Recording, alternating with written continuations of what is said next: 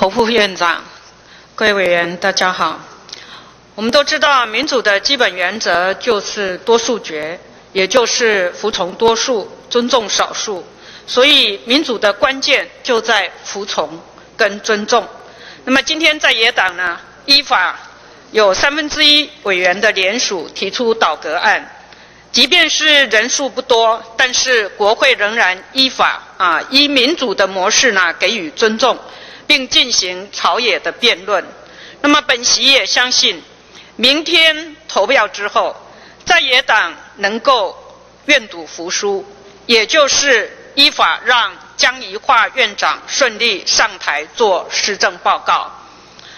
本席绝对希望明天过后不会像王建壮先生所言的不能运作的民主的困境。又重现在国会。那么，如果是这样子，我们几乎要相信，我们的苏主席、民进党的苏贞昌主席，之所以有这个明知道不会过的倒戈案，其实是给这六次杯葛不让江院长上台报告的一个。最好的下台阶。那么，今天我们看到这样一个结局，我们不禁要感叹：为什么一定要经历过这样一个六次的悲歌，才做最后的下台阶的收拾？本席呢，历经过在野，现在是执政。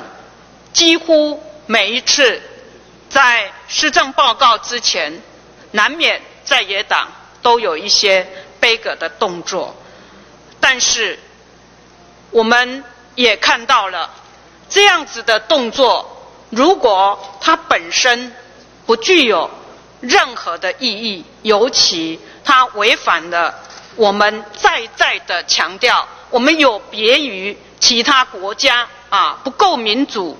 的优势，那么为什么同样的争闹，同样的元旦时间、元旦施政报告，一定要一而再、再而三的在我们的国会殿堂发生，而且还有更甚于此的，让人不愿意看到的不法的肢体的动作。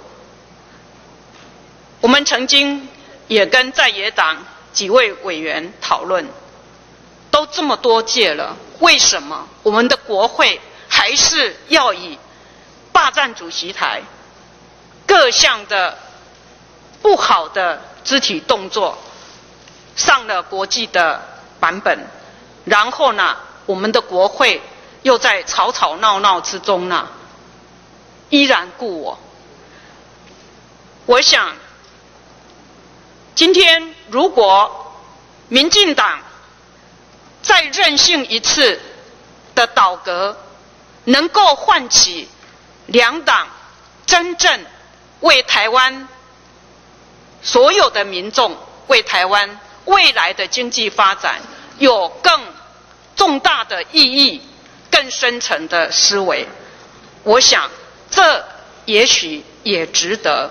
所以呢。本席在这边呢，再再的呼吁，明天过后，我们不希望再看到有无止境的悲歌胡闹。那么更重要，我相信在野党有非常多有志之士，其实也非常不愿意去做同样的动作。如果我们今天希望。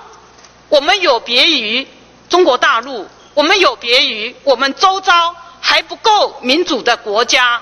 我们希望不止在经济上，在人的素质方面，尤其在国会的表现方面，我们是超前的民主。我多么希望我们这一次的倒阁之后，我们能够朝野两党、三党共同坐下来思考。